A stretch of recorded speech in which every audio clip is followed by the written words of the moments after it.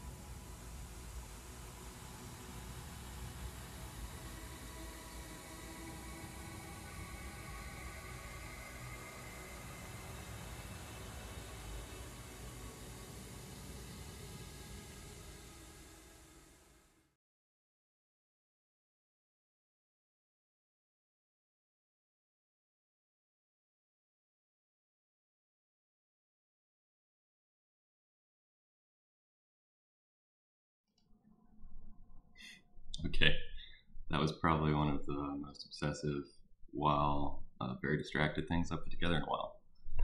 Uh, so that was um, mm, like in the last couple years I was in Houston. I'm from uh, Houston, Texas. Um, um, oh, by the way, I'm Alex Goss. I always forget to uh, say these things. It's, forget that there's people on the other side of this. Hi, hello. Hope everyone's doing all right. Um, yeah, so I moved back to Texas um, about 2014 um, for a variety of reasons. Um, but one was to work in manufacturing um, as a means to figure out my studio practice. I was living in New York, and the kind of things I, I wanted to make, I just wasn't. There wasn't a good way to do it, at least with um, kind of what I had access to at the time. So this is um, uh, one of the last Sears around. Um, this is in downtown Houston. Um, it's where I spent a lot of time during my my days. Uh, was in downtown Houston. I worked uh, at a school um, right around the corner from this building. Um, but so I, I, kind of found a way to become a pedestrian in Houston again. If, if you know Texas or you know the South, it's very kind of car dependent, car centric place. But especially uh, Houston, especially as like an oil capital um, of the world, or like a country, maybe not the world, but like that's the economy in Houston is oil, and you know driving cars is like patriotism there. So there's not a lot of sidewalks. There's not a lot of infrastructure for pedestrians, but I still try to find a way to um, kind of have that connection to um, walking that I did in New York that I, that I missed. Um, and when I walked, um, you know, I realized there's a different sense of scale here too, um, with relation to like the machines and the architecture, um, and then like human bodies, because you hardly ever saw anyone else in the street. Um, I found that like you would see something that was like interesting, or a person that like I don't know was interesting, but, like people watching at a very different scale. And so I'd take pictures of things that I thought were like beautiful moments, um, and then I'd c- come back and like look at them on the computer um, and see like, oh, that's like, what is that a picture of? Um, so yeah, this is like a picture of the mall or the Sears, this broke this like closed Sears, but it's like I was really trying to take a picture of this like man on this roof. Um, similarly, let's see, we are over here. Similarly, um, this is a picture of a, a blimp, uh, but really it's a picture of this like big hole in the ground, and along with um, Houston loving to like pump gas, they also love to like tear shit down and build it back up um, with like something new and expensive and um, you know inaccessible to much of the population of the, of the city.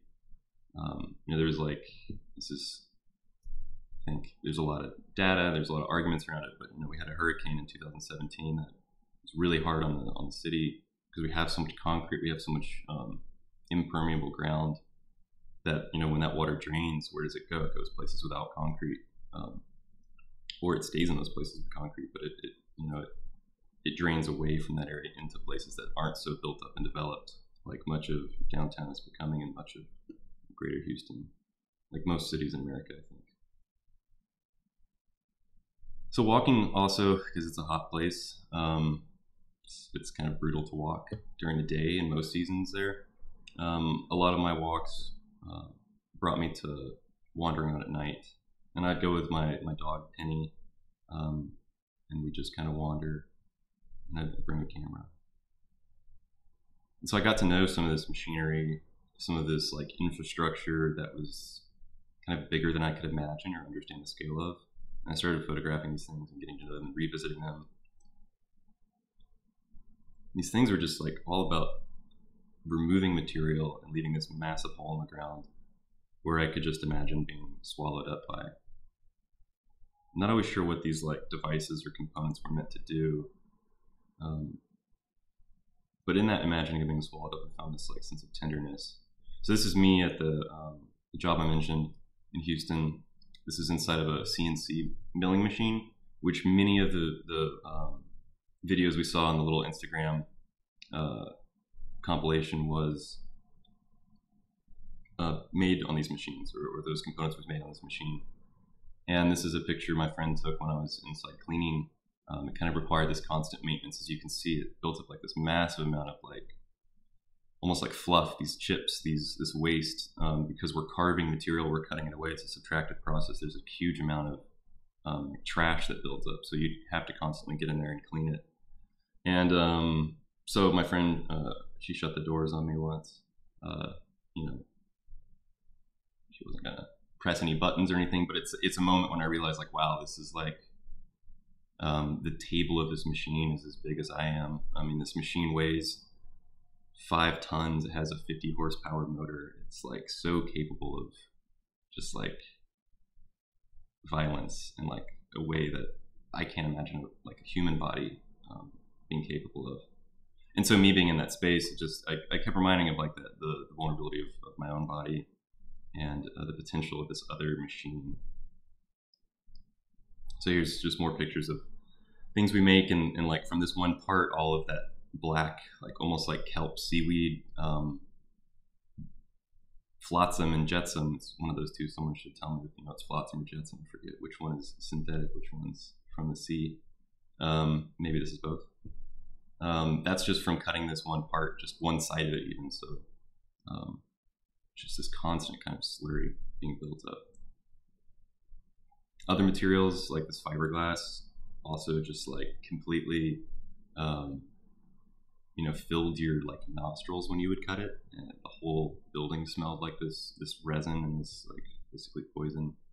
Um, all these materials I found had a very different smell in a way that um, cutting them at this high speed and high intensity, like just kind of atomized. It seemed like any of the what these materials are made out of. So that experience, um, you know, at the you know the end of my time there, I could smell the difference between that acetal Delrin or the HDPE or aluminum or steel.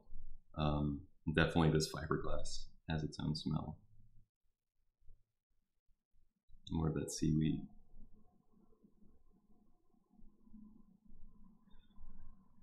So as I mentioned, these machines are capable of like so much precision, and you can see some of those tiny parts we were making. But I, you know, when they when they messed up, it was because myself as like the machinist and the programmer, the person who was telling the machine all these things to do, if it if the machine quote messed up or it crashed, um, that was because uh, something I did, you know, an extra decimal place or in the wrong place or an extra zero somewhere, could do things like this. Um, you know, no longer is the machine cutting; it's just like putting a huge amount of energy from one thing into another. Spinning cutting tool into like a block of metal um, into the machine itself.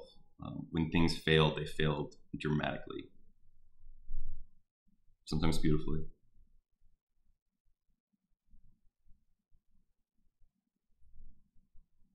As I mentioned, we were constantly making tiny, tiny things, things that at times we'd have to look at under a microscope. Much of the things we were building were um, medical components or prototypes for medical devices. So um, a lot of those materials we were using were body safe plastics, um, but tiny, tiny things. Some pictures of other components we made. At times it was like working in a factory where we'd make hundreds of something, um, and I just kind of press a button and uh, you know write grants and show proposals and things. Um, this was shown in the video a few times. This was we were cutting the tops off of it was like 1,000 um, of these syringes. That was kind of demoralizing. Uh, it's a piece out of that Delrin, that acetal copolymer Delrin. It's kind of a lonely place. Um, we also made 3D printers that were like quote industrial. Um, I think we're kind of like the, the Theranos of the 3D printing world. There's a few actually of uh, people who you know have some great idea for a 3D printer, but really they're just more and more expensive glue guns. Uh, much of them, the kind of uh, 3D printing where you're depositing plastic um, drop by drop so I mentioned there was a project that brought me back to Houston, and that was um, this project that I ended up calling U-Screw. Uh, it was about a security screw or a tamper-proof screw that I wanted to make to replace those tamper-proof screws that I saw in the world. Um, it was something I really experienced in New York, riding the subway, or going to like institutions like museums and uh, universities, places like that, where you go to the restrooms, or you just look around the hallways, or um, the subway platform, or on the train itself. The ways those things are held together, those, the furniture or the dividers, the partitions, they're held by these very specific kind of screws that you can't just take apart um, with an average screwdriver. Um, in some ways, they're kind of empty gestures. They're kind of like empty accusations. They're, uh, you know, you can go buy these drivers uh, from any catalog or even you know, some hardware stores. But I, I, started collecting images of them. Like whenever I go out in the world, um, I'd find different, um, you know, I'd use a restroom and find these different uh, security screws that were being used so it kind of has its own catalog uh, that's building um, on another Instagram page.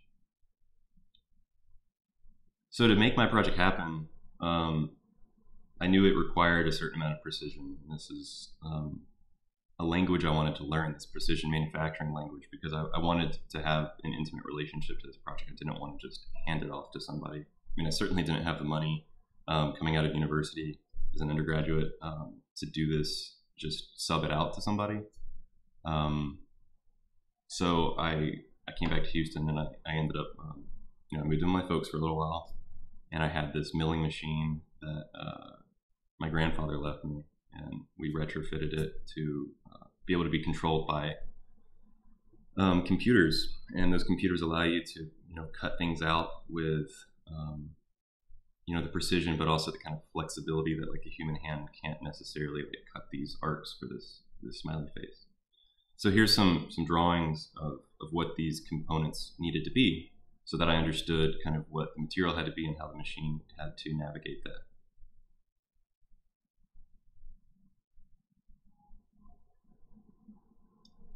So I got back to Houston and I went to trade school for a while actually, um, trained to be a machinist. Um, and this was right in, there was a big oil bust in uh, late 2014, early 2015. So no one was really hiring, as it turned out. Um, but I had this like certificate on top of my art school degree. Um, so I ended up just kind of finding odd jobs, and in addition to the, the teaching that I kind of had uh, part time, I found these kind of odd manufacturing jobs that involved, um, you know, places where I could keep working on this project, this U-Screw project, make these better and better. Um, here's some uh, kind of other homages to the, to the public bathrooms that I was making these like fridge magnets out of plastic. So I eventually got this screw project to a point where they were functional. You know, for a while it was just kind of like you could make it look like a screw, you could kind of make it work. Um, uh, because what you're looking at here is just Photoshop. I could cut out the head and I could kind of get it close. Um, but you know, these weren't very uh, easy things to make. They would take hours and hours just to like get a few that were decent enough to actually hold something together.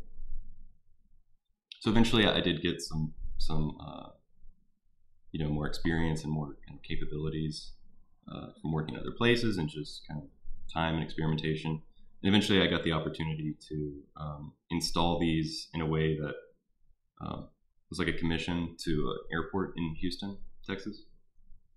Um, so they bought a handful of screws, um, and that was able to, that was that let me be able to like make more and more of these at like a better quality. Um, where I did eventually sub them out to another person to work on them. Before you know, and still, um, these screws were um, intended to, like I said, replace the existing screws in these public spaces. These tamper-proof screws, these screws that were saying, "Don't touch this thing." Um, I wanted that screw to become this like little wink, this power play um, into like who had control over those spaces, those those semi-private, semi-public spaces that are restrooms in these kinds of buildings.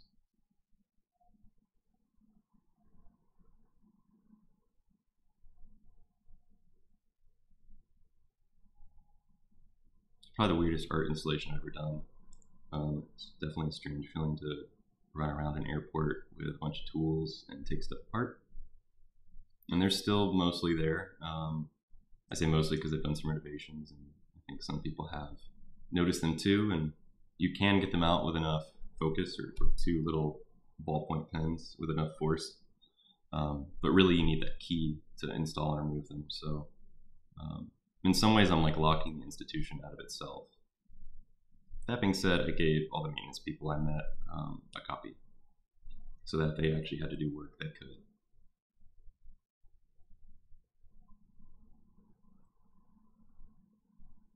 So besides this airport, I've been installing these kind of all over. Whenever I travel, I bring a little kit. So there's one in the Guggenheim, there's one in the Met Breuer, um, there's one in the Whitney, um, some other museums in Texas. Um, here's a quick little video I made of quote the process of making this a quote because this is like a dramatization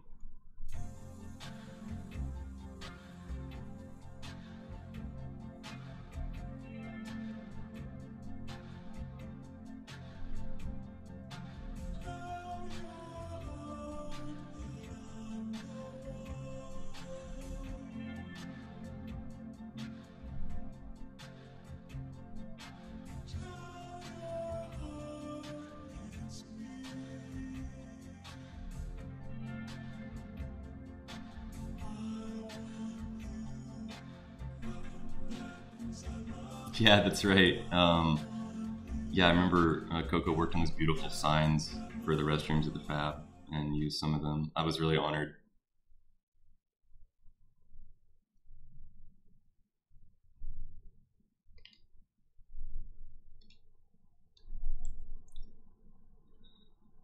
Um, so I eventually quit that that job where we saw all these, um, you know, Instagram stories and things at the beginning. Um, but in my time working there, I was collecting like the scraps from some of the projects we'd been working on because um, my uh, boss just like refused to recycle. Not that he was, you know, um, they were just it was a busy time, um, and I don't know. Anyway, so these parts are going to be thrown away anyway, and uh, rather than recycled because it turns out it's not really profitable to recycle, so they just got thrown out. So that's kind of that's capitalism for you.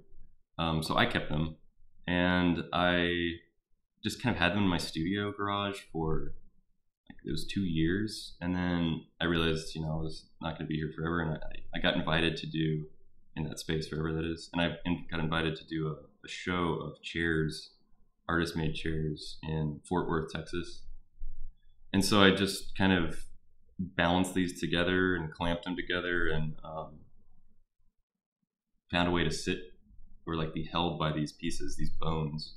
Um, and then once I figured that out, I kind of drilled all these holes and they're bolted together from all the sides. So it's actually a pretty stable um, thing, even though it's just kind of made up of this like precarious stack. So there's me like drafting, testing it out. And there's all the pieces with um, holes that go through you know, there's like I guess a pattern of five or six holes that go all the way through every piece in the same location. And there's the chair.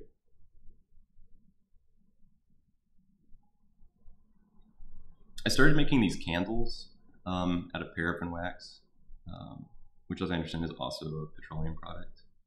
Um, and they, they made them lavender scented, of course. Um, precision candles because I wanted them to engage with that CNC machine that we saw um, a few pictures back that I was working on. I started doing this this like um, ritual of like cleaning the machine so much it, it there, added another layer to it where these candles became part of the the cleansing or that digestion process. Here's a little excerpt from a video I made called Gathering Dust.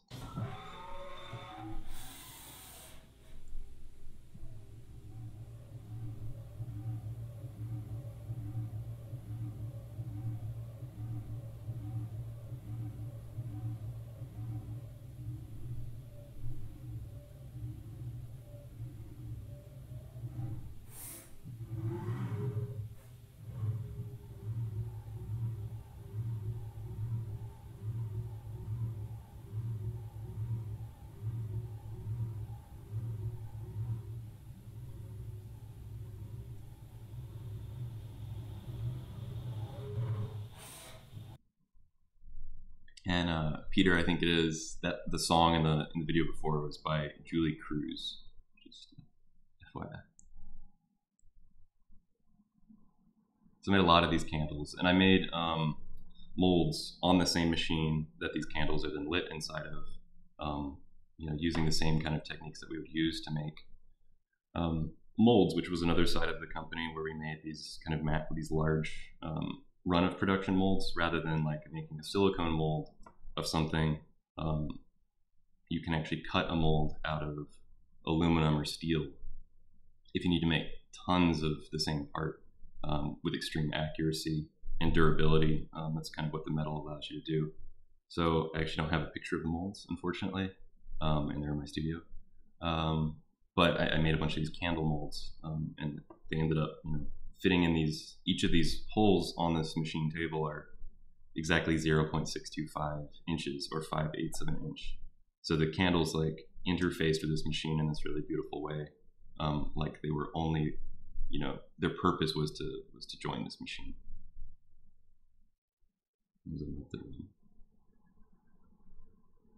I also made um, these like they're not real fungi, fungi, fungi, um, but these plastic mushrooms um, that also interfaced with the machine in the same way that were like kind of sprouting out of the machine's table for that same video.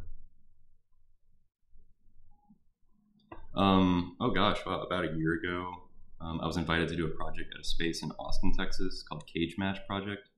That's like a 20 by 8 foot um, cargo trailer um, that has this cage built around it. It's just kind of like in this parking lot um, out in Austin, joined with this um, institution called the Museum of Human Achievement, which you can see in the back there. Um, and there's a little bit of a budget, which is beautiful. Um, the city of Austin is pretty generous to artists, and this project was supported by that. And, and so there was a stipend, which is was super exciting.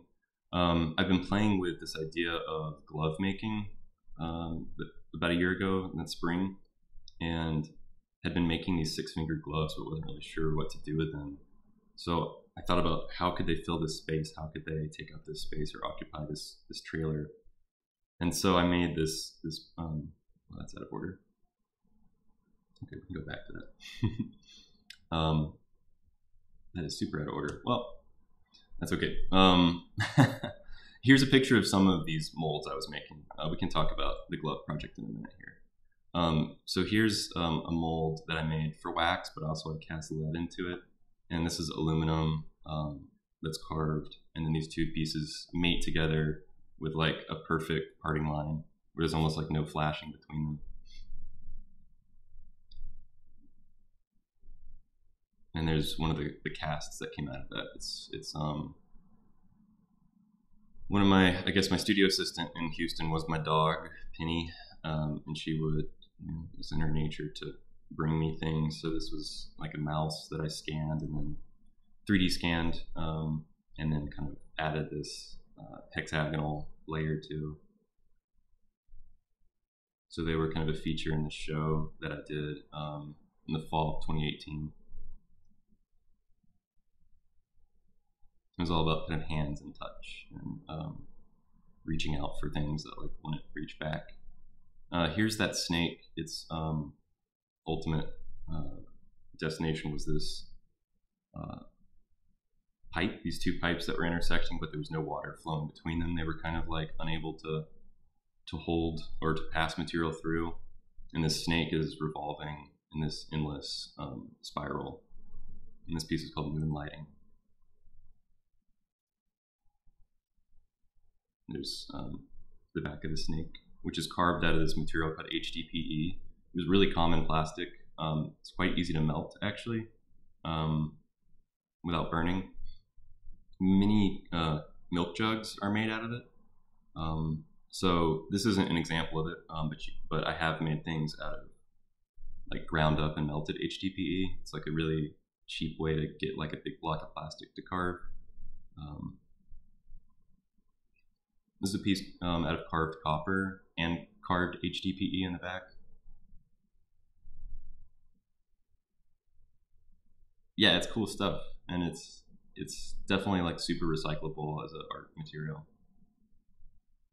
Um, this piece is called "Don't Close the Door," and you can see those paws come back underneath this like manhole cover.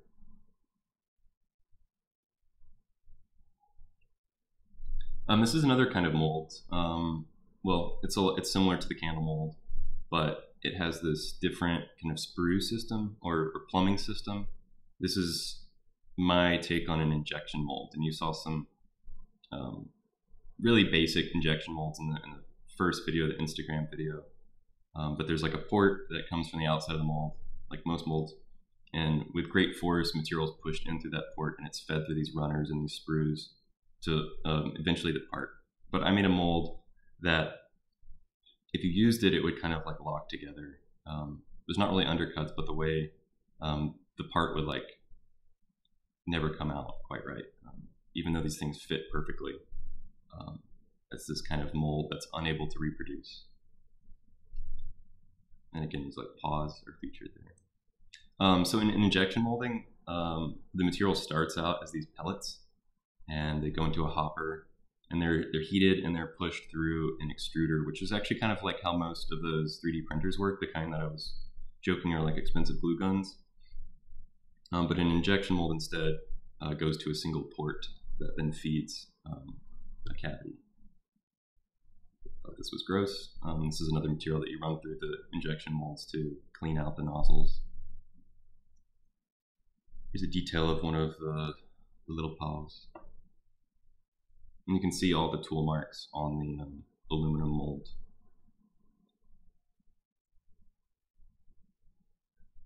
I was also casting lead, as I mentioned. Um, I started making these MDF molds, um, but then I moved to making them out of aluminum. This was a squirrel that I 3D scanned that, again, my dog brought me. Um, and this is a possum that is uh, also cast out of lead, but instead of the mold being a cavity, um, this is one example where 3D printing, I think, worked for me. It's not something that I really reach for a lot. Um, but each of these pieces was its own little positive, and I pressed them into um, a specific kind of sand that can stand up to high temperatures. I think we have some in the foundry at VCU. Um, please don't cast lead into it. Um, I don't recommend using this material.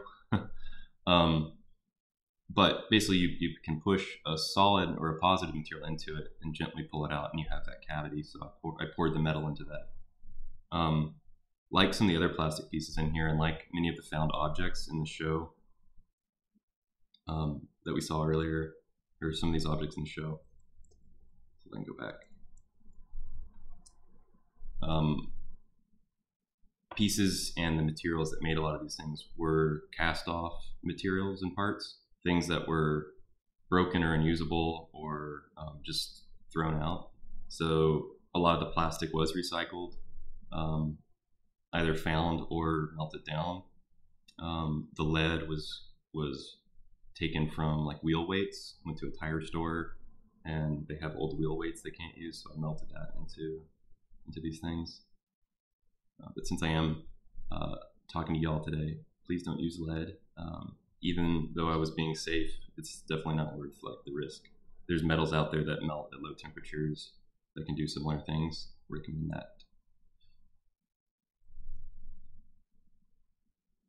This is a video of the show from 2018. Wow, 2018.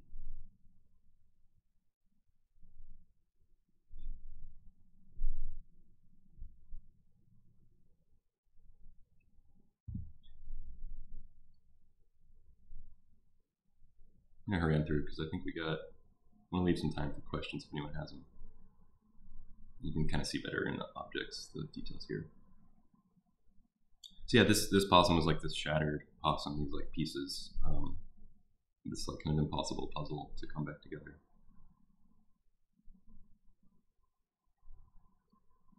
And this is a sad picture, but this is this is um, what I used to scan the, the for this model. Um, that again, Penny brought me. She's very sweet, but she is a wild animal. that's her on a chair I made um, back in like 2011. It's like take on a Donald Judd chair, but I added a shelf because I think it'd be more useful and comfortable. Um, in undergrad, I, I, wanted to share some pictures from undergrad. I was also interested in this like public space and this idea of like death in public space and the way that like I think I was interested in like um, like the loneliness that I feel in that, and, and I think was in that soft jaw show. A lot of that came through. There's these rat traps that New York uses a lot, but you can see them in Richmond and many cities um, that look like rocks. They're just these plastic injection molded rocks um, that are have rat traps inside of them. They're just like little killing devices that are supposed to also be beautification. So I started taking those out of Tompkins Square Park and then replacing them with plaster and fiberglass casts that were just houses um, without the, the death machine inside. Um, so back to the glove project. I was born with a six finger on my left hand. Um, wow, these are really out of order. What's going on? um, cool. So I started making these gloves, and uh, I tried a, a, couple different ways to make them, but I ended up spraying on latex in thin layers uh, to this form, essentially making a glove mold and peeling it off. So it was kind of like an offering to that lost um, finger that I never got to know, I never got to use. Um, it was like a way to remember it or imagine a life for it that it wasn't given to. Kind of didn't fit the mold of, um, you know, I guess when I was when I was born, it, not that there was something wrong with me, but uh, there was something not normal about having a sixth finger.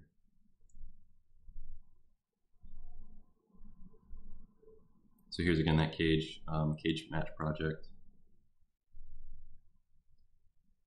And so um, I proposed to make these six little pedestals that would rotate, and uh, on each of them would be suspended um, a six fingered glove, and it would kind of have its own specific path in this ensemble. And I drew these all in, in CAD in a program called Fusion 360. Um, because there were such mechanical requirements of this installation, um, things had to fit a certain way. So working in CAD made sense here. Um, it's not always the case. Sometimes it's kind of like a, a tunnel that doesn't really lead you to what's important. But for this project, it made sense for me. These are just renderings. And here's um, the kind of conductor of the whole circuit. This is a, a, motor just tied to a pulley. And so a single motor pulled the entire group, but they each kind of flopped around in their own way.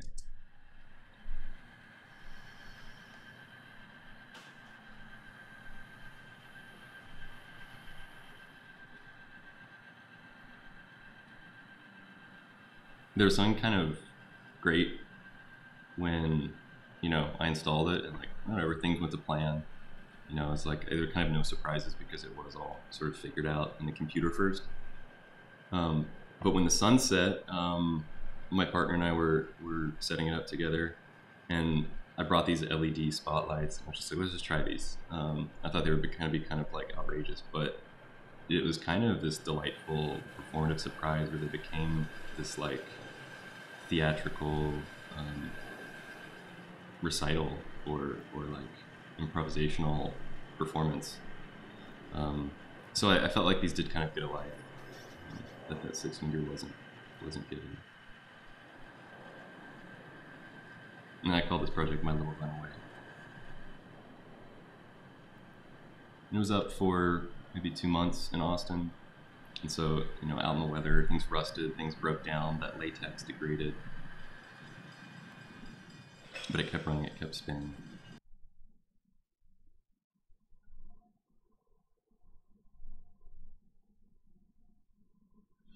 Um, I had been playing with some ideas of performance uh, before. Uh, in the video with the candles, I also was uh, a character in that video. This like very much the same character that I performed every day in my job. Uh, this like maintenance technician or this this person with this relationship to this machine. Um, and I did another performance uh, in 2017 with a very close friend of mine, Alexa West, whose work um, involves a lot of choreography and, and, movement and, and contact with other people. Um, and so she's also from Houston. I invited her um, back down and we hung out. And I, I, had this machine that I had built from bits and pieces. That was a CNC router, a four by eight foot, uh, you know, footprint machine. And we started playing around with like different movements. And through like programming the machine, um, these they became these kind of like uh, uh, what would you call them? Like notation. Um, for us to respond to the machine or like have these different um, you know uh, sets of options and so these were like 15 minute performances that we did at this space called um, the silos which is a um, repurposed uh, rice uh, silo. And the drawings that were made from each performance um, were sometimes a little bit different. Um, we kind of mix it up between performances um, but it would kind of like ask for things and it would take things and we would give it things and um, it would you know push us and pull us and it ended up leaving these marks in the blue foam that we were um, I guess dancing on.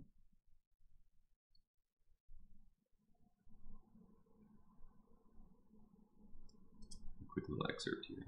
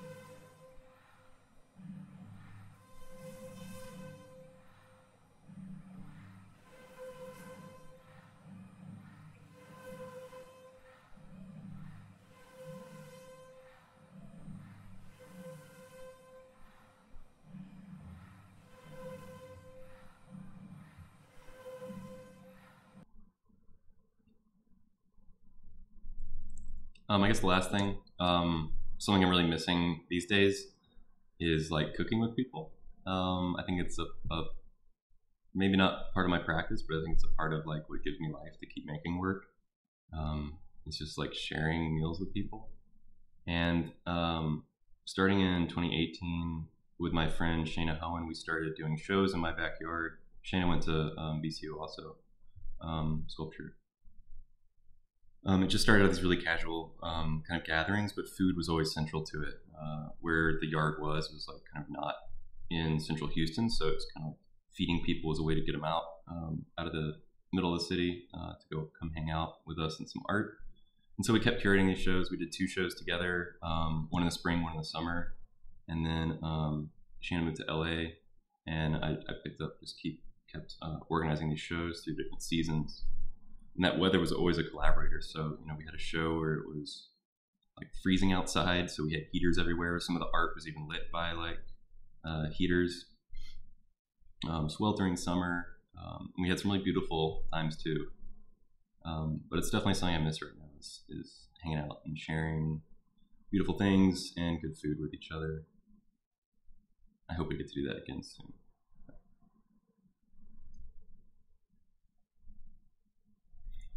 Um, cool. If anyone has any questions, um, I'm gonna let this play. This is just kind of what the, the project I'm working on now.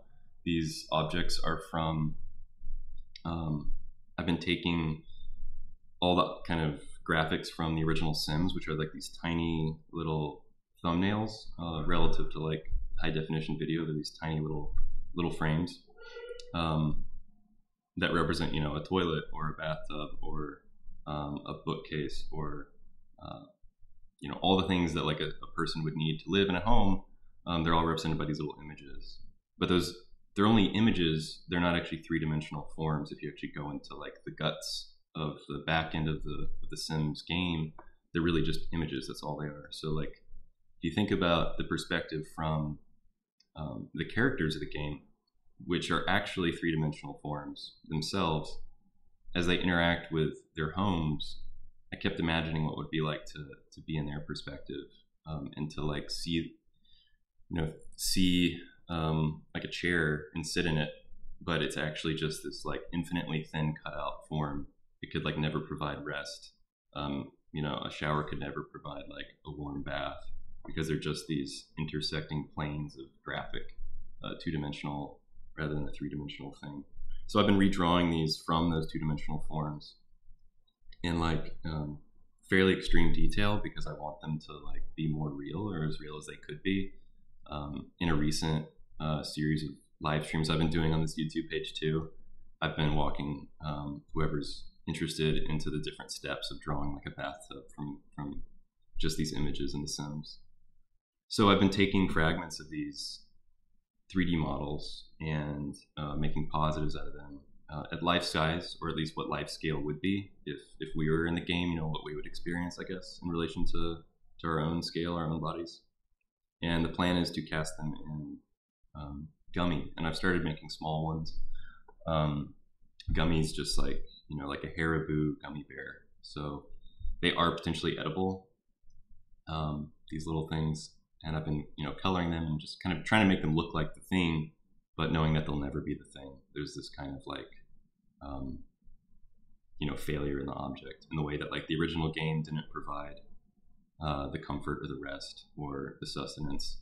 Um, these I guess could provide provide sustenance, but they're like their own vulnerable little um, squishy things. So yeah. Um, maybe some we have a few more minutes if, if folks want to ask any questions. Um, i can hang out in the chat um, and i'll put this video back on. Um, yeah I'm, I'm, here to answer questions. Hang out for the next five minutes. I'm watching in the chat. I'm glad it stopped raining. If anyone's in richmond it was like really intense rain for the last what felt like 12 hours solid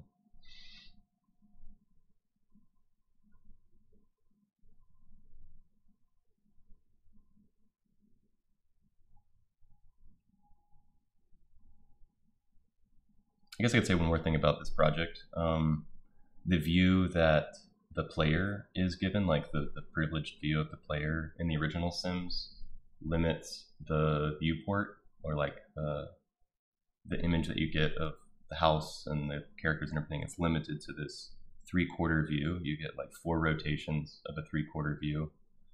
Um, so you also never really get to see behind the objects as the player um, but also the characters would never get to see behind the objects because they only have that um, thin plane to experience. Um, so I've been making these from that three quarter view only, like kind of extruding them into into this space until they contact the ground um, that they would rest on. So they're kind of locked in this limited uh, perspective too. Oh, that's sweet, Nicole.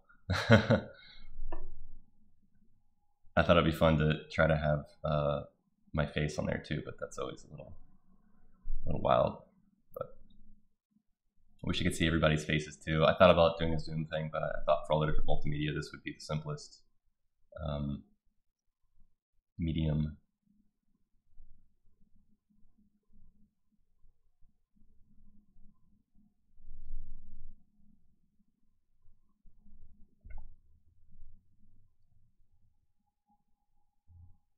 Cool.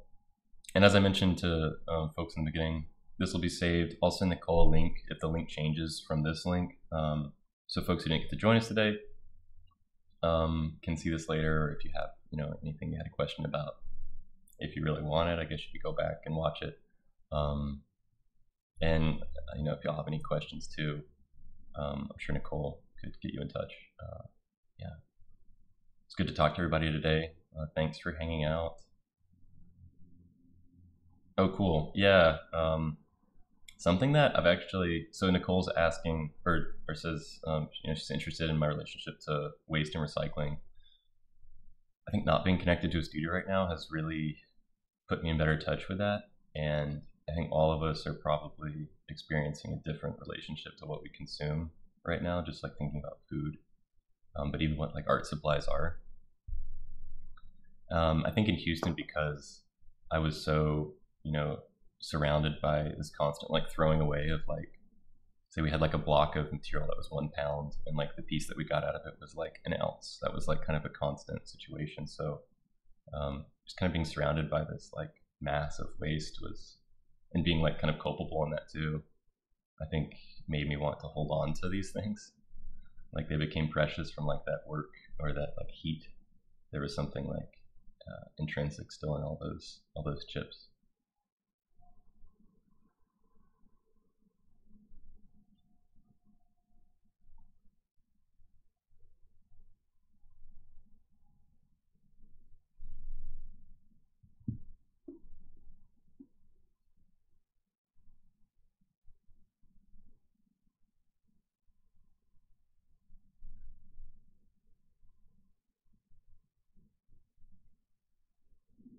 Cool. Well, y'all are welcome. Um, yeah, reach out, hit me up. I'm around. um, enjoy the rest of y'all's afternoon, and uh, yeah, thanks again, Nicole, for inviting me. This was this was fun. Hope to hope to do more things like this soon. Y'all be y'all be well.